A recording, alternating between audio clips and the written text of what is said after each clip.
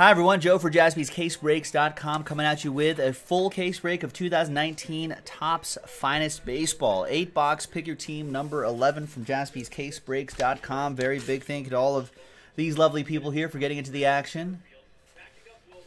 I know it sold out earlier today, but we had that big dual case break that we finally finished. Uh, Joseph Andreessen with the Rangers and Reds double last spot mojo.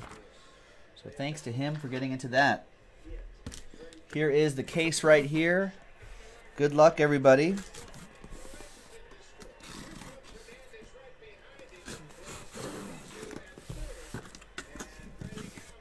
Two autographs per box, one per mini box.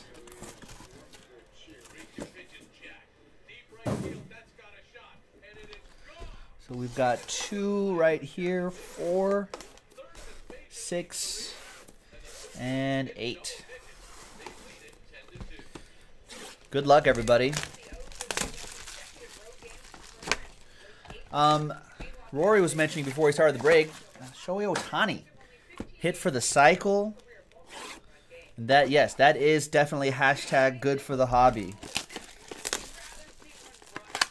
And I saw a report on MLB.com, I think, that suggested that he was, and I'm to take this pack and move it right to the top because I think the autograph usually is in that first, that first pack down there. Um, just for extra suspense so the auto doesn't pull too early.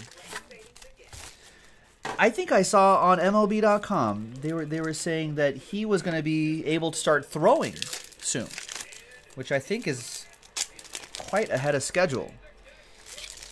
Maybe not maybe not back to pitching, but I think that he can start throwing soon. So that would also be hashtag good for the hobby. I think I think that the Angels should turn him into a closer.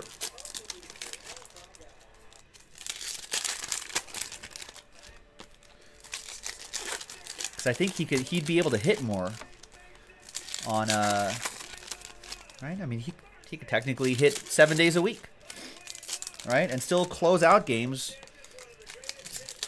three times a week.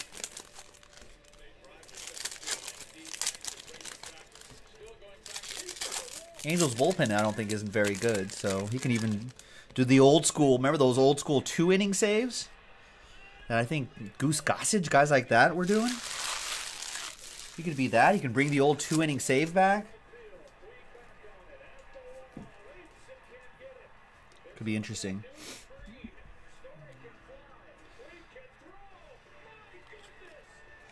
Oh, I guess the auto's going to come out early anyway. Brandon Lowe, who's been hitting really well. Scott V with the Rays. There you go, Scott.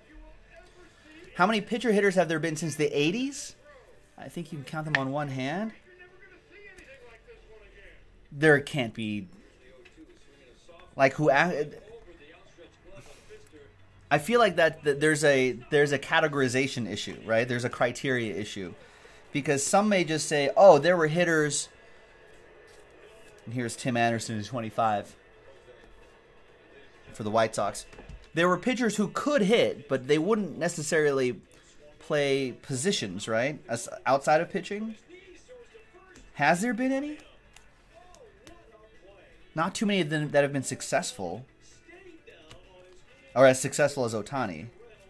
Here's Dakota Hudson to 50 gold. Ankiel, maybe? Ricky Ankiel. Did he play and pitch?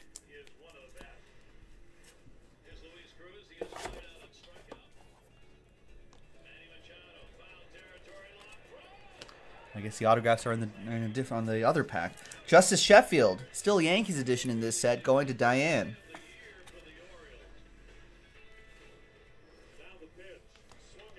So there's your two autos there.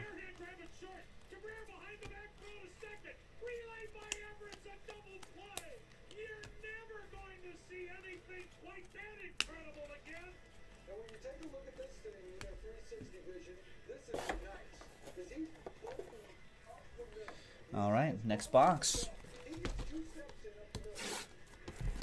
I mean, there has always been good hitters that could pitch, but they would never let him. They would never let the person be a regular member of the bullpen or the rotation, right? And there's always been pitchers who could hit, but they're never playing. They're only hitting when they're starting, right? They're, they wouldn't be DHing or something like that. So, um, like Madison Bumgarner can hit the ball pretty well, but he's not going to be playing first base anytime soon, right? I think his arm is far too valuable, at least for him anyway.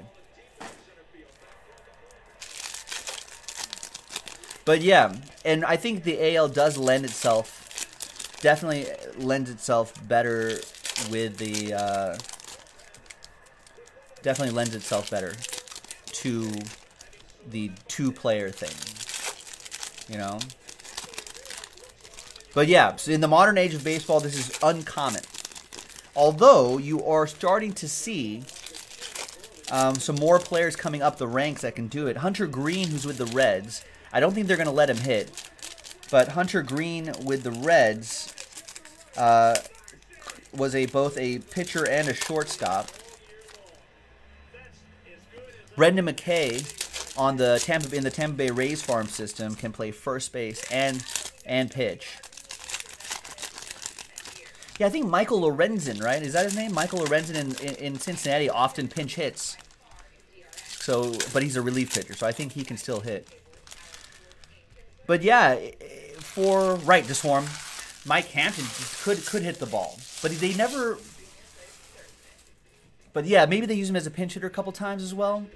But I think Ohtani would be your first sort of first sort of player that a team has acquired to specifically do both things. Not stumble into one or the other, but specifically wants them to do both things.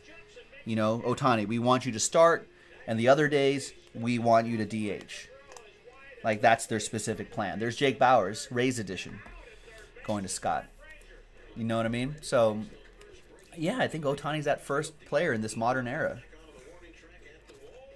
But I think there seems to be more and more of that kind of coming into into play with some of those other characters. But I mean, I want to say, I want to say even Babe Ruth didn't have a lot of crossover, you know, between pitching and hitting at the same time.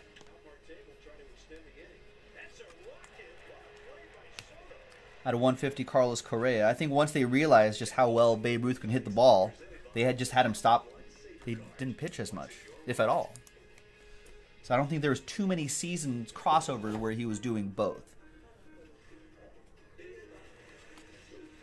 A little crossover, but I don't think very much. Mariano Rivera die cut for the Yankees. Still have not seen a Mo auto yet. I know they're very hard to get, but still haven't seen it. Diane with the Yankees. Good luck. Jeter, too. We haven't seen him either. And there is David Fletcher, speaking of the Angels, 62 out of 99. But I mean, Ohtani's the kind of the great experiment. You know, can his body hold up? So far, no, it hasn't. you know, like he had to had to get the surgery, so he can't throw for a year, or at least can't pitch competitively for a year.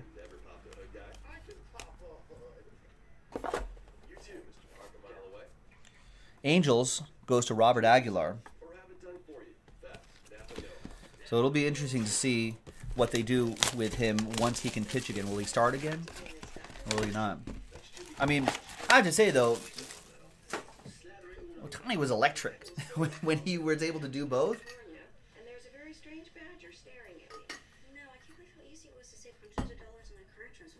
You know, the kid, you know, is striking out a ton of batters one day and then hitting bombs the, the other day, the next day.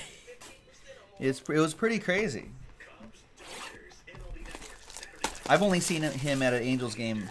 I've only seen him uh, hit. I haven't seen him pitch.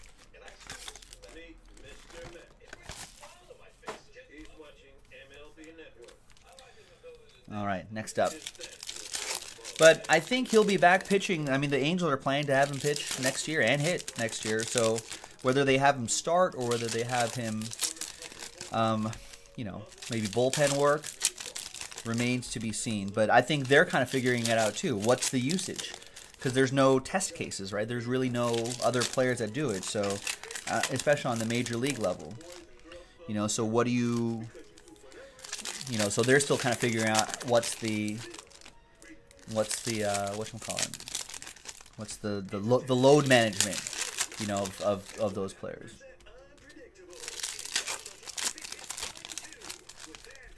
But yeah, it seems like pitchers would always be great batters because they know what to look for. I, you know, when I I used to think that too, and I realized it's just it's just different throwing something as opposed to waiting for something to be thrown at you. You know what I mean? That ends up right near Nolan Arenado's head the other night, right? I mean, it's tough. Like, it's one of, yeah, it is one of the hardest things to do in, in, in sports. You know, but it's like, could a quarterback be a good linebacker just because they know what a quarterback's? I don't know. So I mean, I don't know if that, I don't know if that translates. Todd Helton, nice one for the Rockies. David Bruns, finest Origins autograph. Wait, Johnny, you're saying hitting a baseball is the third hardest thing to do in all of sports. What do you think is number one? Quarterback?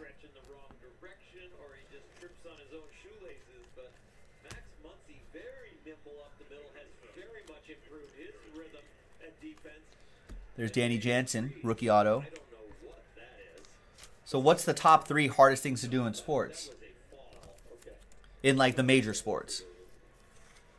Hockey, baseball, basketball, football, soccer.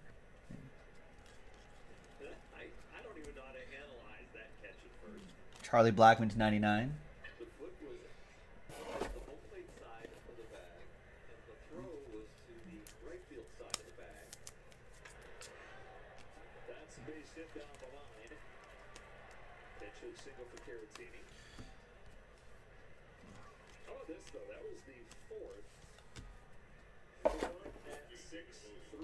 All right, next box. I think I want to say Gianni. I would say hitting a, a baseball is one of the hardest things. Is is the hardest thing to do in the major sports. For the precisely the reason that Rex is talking about, like, like if you calculate like the reaction times and blah blah blah blah blah, like you're you're this is why there's only a 30% success rate. A 30% success rate in hitting the baseball will get you into the Hall of Fame. 30%. If a quarterback only completed 30% of their passes, everyone would be like, what a scrub. What a Nathan Peterman. Sorry, Nathan, if you're watching. You know, that's what they would say. Like, he's crazy. Hitting a baseball. I have a hard enough time going to a batting cage and hitting like a slow pitch softball. or like a, a little league fastball.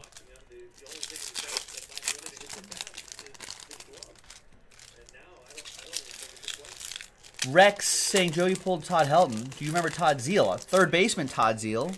Mets, Cardinals, I think. He's he is a Todd, but he never sees out. Is he dead? Is he dead? Todd Zeile's dead. I don't know if Todd is Todd Zeile dead.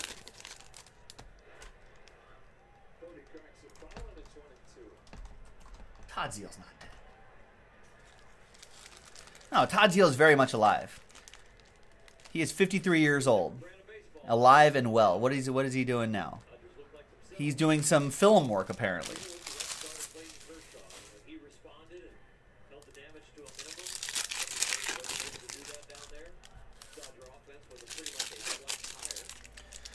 The only reason I have QB ranked one, Gianni says, is because the sheer volume of hitters versus the volume of, of QBs.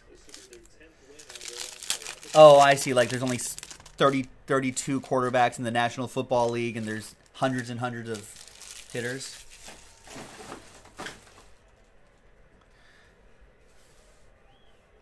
I mean, there's just not many, very many positions of it. I mean, that's true, but only 16 quarterbacks are, are good, right? 10 quarterbacks are elite. Eight, five quarterbacks are elite.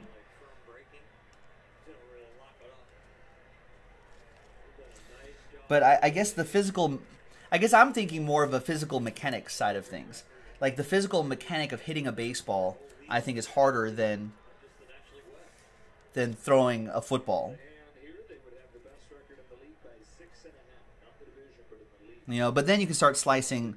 The Cardinals is Andrew Herman. Then you can start slicing like, well, now you got to learn plays. Now you got to learn coordinating with your entire the the ten other people on the field and all that sort of stuff. So I get it. Yeah, it's a tough art. It's a fun argument. It's a tough one though. Cody Wise, you're saying you think tennis is too?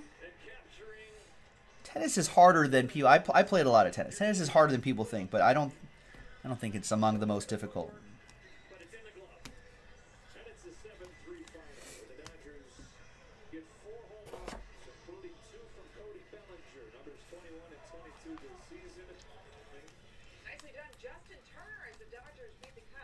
I mean, if I could play tennis,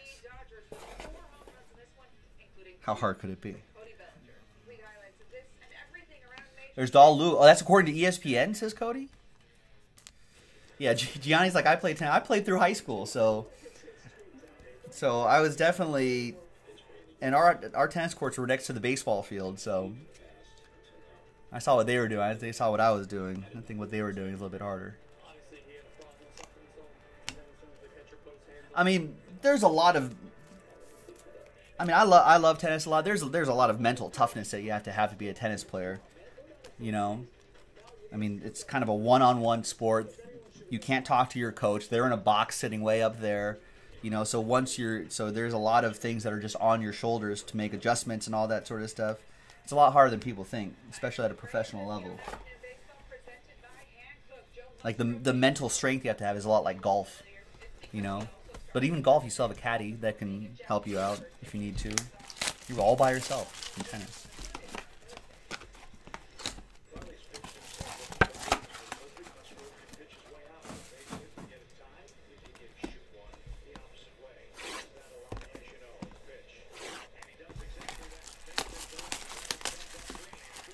So the video said technically hitting a baseball should be impossible because you don't see the ball till it's right on you. I think you can. I think that I, I've heard that before too. I feel like that's a little over exaggerated. Like you can still see a baseball coming at you right here, right? You can see it coming off the hand. And where they get it is like where their release point is, whether it's a fastball or where you see their arm turn just slightly for the curveball or snap down for another curve, a slider, curveball, right? And so when you see that release point, and depending on the count and all that sort of stuff, you would scout enough to know what direction it would kind of come, and then you'd be able to adjust. And you can make a quick enough adjustment. Like tennis serves come at you at 100 miles per hour, and so you can kind of figure it out once it comes out of the hand. But I think like part of it is just natural anticipation of the ball, and you're just kind of reacting to it. Um, I think I don't think your your eye scientifically, I don't think your eye literally can track that ball right to the right to the bat because like you blink or whatever and there's like enough only so many frames your brain can process. So there's like a blank spot in the middle and then it shows up right at, at the plate. You know what I mean? It's it's it's weird. I've it's kind of hard to, hard to think about, but it's like but I think that's the like the science of it. Remember that sports science show? I love that host of the sports science show. A baseball thrown from Noah Syndergaard comes out of his hand as an angle of 48 degrees at a torque of 120 pounds and comes at you at 98 miles per hour. I did not have my own tennis. Uh, I, I, you would have a grunt. Some moments you have a grunt, yeah. You grunt. Everyone grunts. You grunt. You hear Rich Hill grunting. Pitchers will grunt all the time too. You can hear Verlander grunting. Oh, Matt Bonner, you got you play tennis too? It's tough. Yeah, a lot of levels in tennis. I was like the last squad in doubles, so I didn't play all that much. But yeah, just to get to that those top levels are extremely difficult. Corbin Burnes autograph. David Hutton. A lot of debate in the now that the French Open just wrapped up. A lot of debate in the tennis community about the number of matches that like pros have to play. You know, or the number of matches that like amateurs have to play just to get up the ranks. And there's a lot of burnout, and there's a lot of, you know, a lot of kids just crisscrossing the world trying to play tournaments, trying to go up the ranks, but for little money and for not a lot of gain and a lot of early injuries because they're playing so much. There's Rowdy Tellez, 99. I think Federer and Nadal have always said we got to reduce the number of got to reduce the number of tournaments that we play a year or are required to play a year to maintain rankings. 40 out of 150, Ryan Borucki. For the Blue Jays, that one will be for uh, Joseph Andriesen of the Blue Jays. But it's crazy. Yeah, tennis is crazy. It's just a huge pyramid that you have to climb from like bottom to, to the top to even get to any kind of pro am sort of level. Does Nolan Ryan still have the fastest recorded pitch ever? I don't know. I feel like Aroldis Chapman or someone like that kind of beat that. All right, next box. Verlander, I know. Verlander, the, the ageless wonder. Maybe Roy's? A new PED that we can't detect? On scale 1 to 10, how bad does his shoulder hurt in the morning after the game? Probably like 9.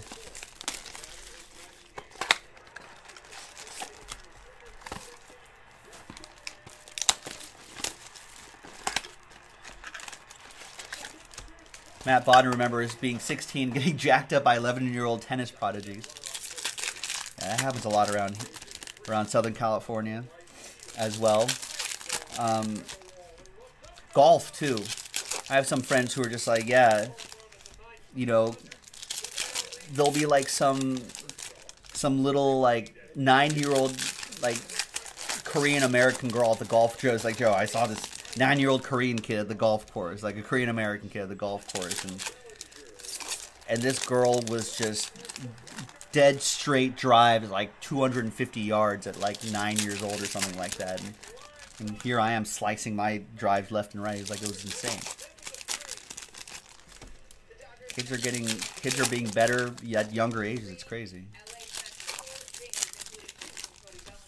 Jay saying I thought they said Nolan Ryan hit 108 once, but it like it was just it's only a rumor because they didn't use radar guns. Right. The the measuring of the of the thing has always been debatable, debated. All right. Roy, 7 a.m. in Paris. Hello. And heading home tonight.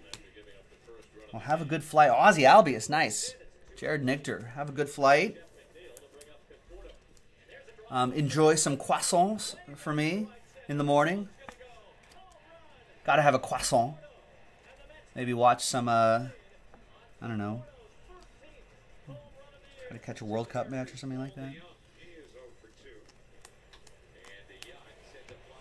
Johnny's saying, if I remember correctly, Aroldis Chapman has the fastest recorded pitch at 105.1, which is insane. Starlin Castro to 150. Who has the Braves again? Jared Nichter. Nice, Jared.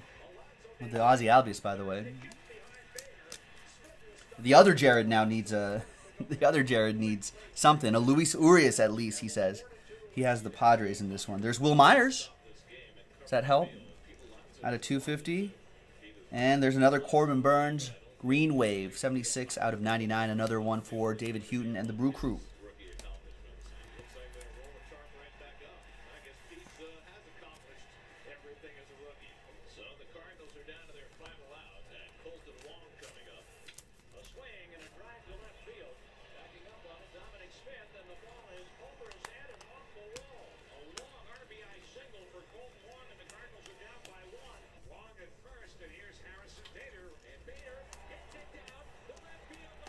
All right, two boxes to go. We're almost there.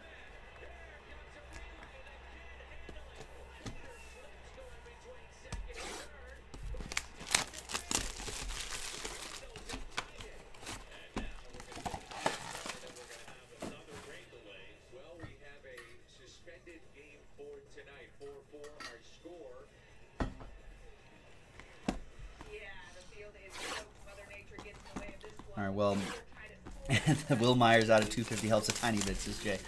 We got four autographs to go. Two in this master box and two in the last box way back there. So Keep those fingers crossed. We're not done yet.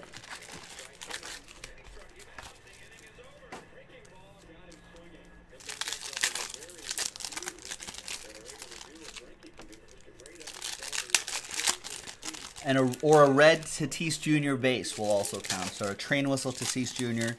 No ink will also help.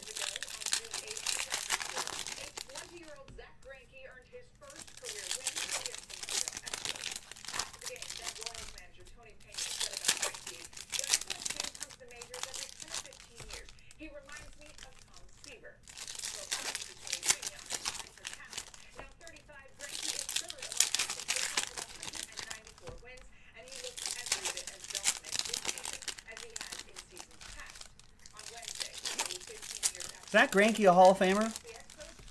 Did we talk about this yesterday? I feel like we did. But I think we kind of glossed over his his stats. But he, he had a no-hitter going through however many innings today. Is he a Hall of Famer?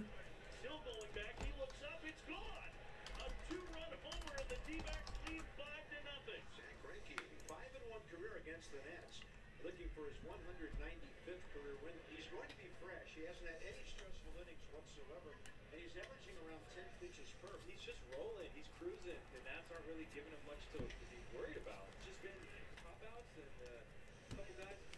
There's Mariano Rivera die cut, another one for Diane.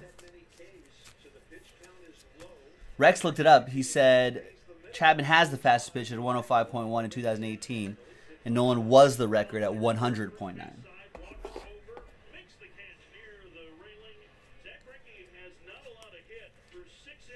Justus Sheffield to 150.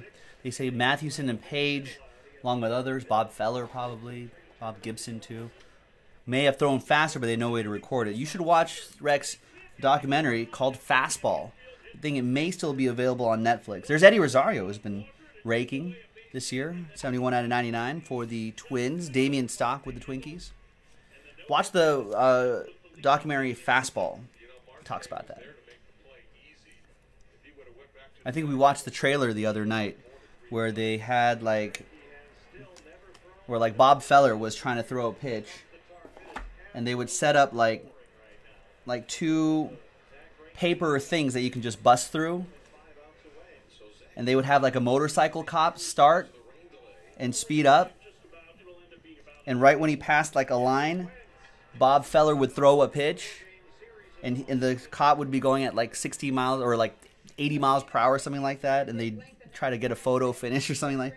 Very primitive, but it was pretty funny to see to see that happen. But I think it is definitely worth it. So is he a Hall of Famer? 187 wins, almost 2,500 strikeouts, a lifetime 339 WAR. I mean, maybe if he hits like some milestone numbers, there's Carlos Correa to 250.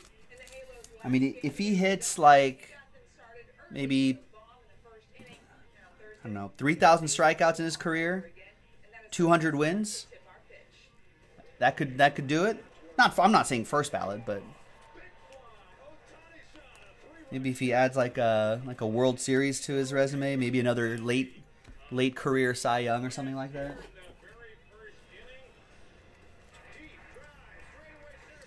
And nice Miguel Andujar for Diane and the Yankees.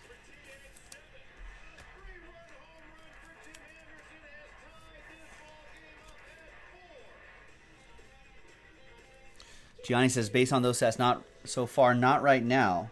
I think he could be close, could be borderline.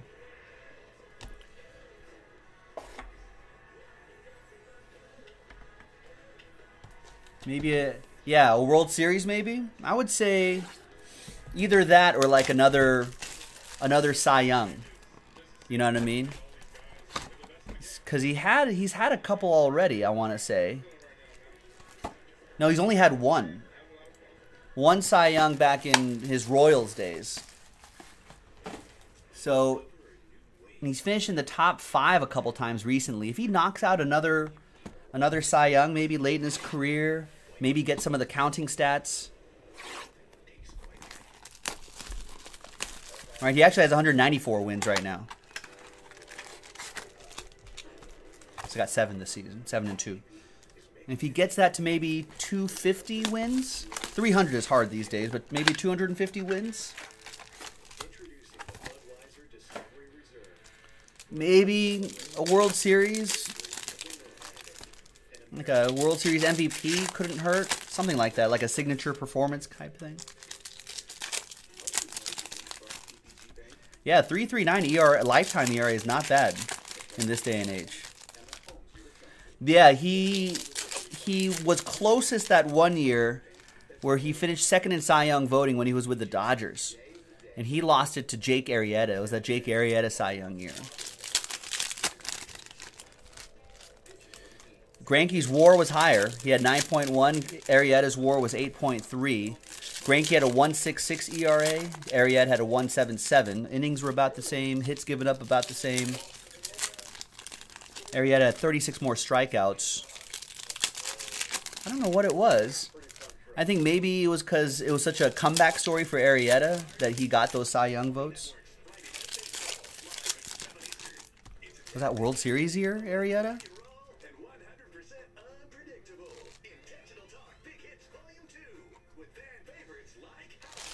No, that that World Series year was the year after.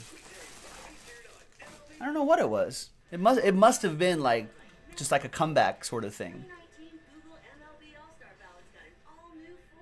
Because he did nothing his first year with, or his the first second half of the season with Chicago. 2018 was kind of a wash. Only made 25 starts. Was kind of pedestrian. Oh, he had 22 wins. That's what it was. I baseball writers stupid. I think he had 22 wins and that led the league or something like that. And so I think that's like the the sort of counting stat mark. They like Greinke only had 19 wins. Greinke's winning percentage was better too. And he got robbed. Greinke got robbed.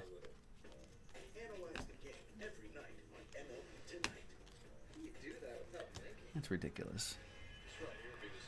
Man, remember how Matt Kemp got robbed by by by Ryan Braun? Roiding Ryan? I remember. There's gold, Brandon Lowe. Nice. 39 out of 50.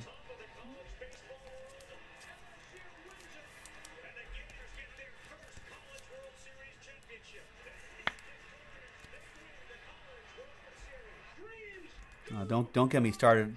You got me started. Don't get me started on the Matt Kemp being rod of an MVP award.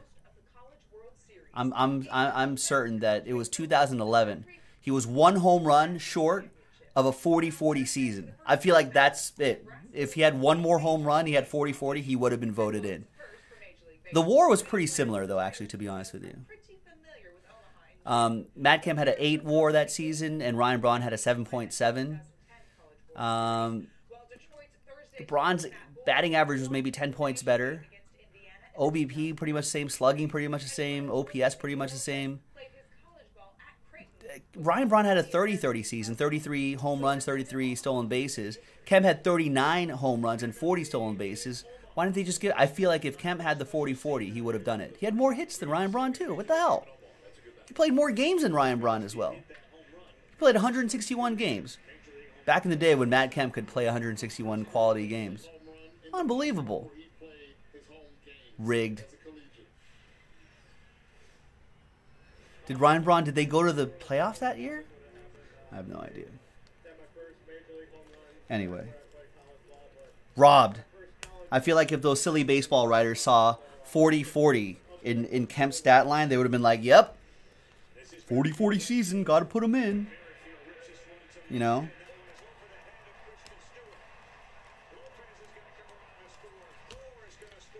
Or something else that happens is that uh, sometimes, like, that's how Donaldson won that one year, the MVP. Just raked in September. Just destroyed in September. There's Touki Toussaint for the Braves. That's our last autograph right here. Jared Nichter with that one.